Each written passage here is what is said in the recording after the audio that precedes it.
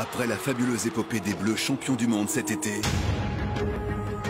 vivez en exclusivité sur W9 les matchs de préparation de la Coupe du Monde 2019 de l'équipe de France féminine de football.